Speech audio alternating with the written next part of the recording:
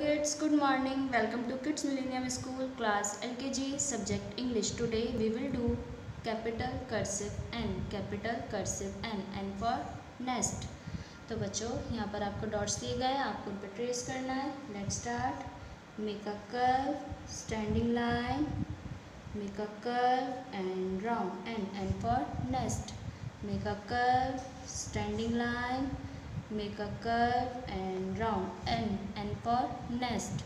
Make a curve standing line. Make a curve and round n n for nest. Make a curve standing line. Make a curve and round n n for nest. Make a curve standing line. Make a curve and round n n for nest. Make a curve standing line. Make a curve and round n n for nest make a curve standing line make a curve and round and and for nest तो बच्चों ऐसे work आपको अपने English की writing book में करना है thank you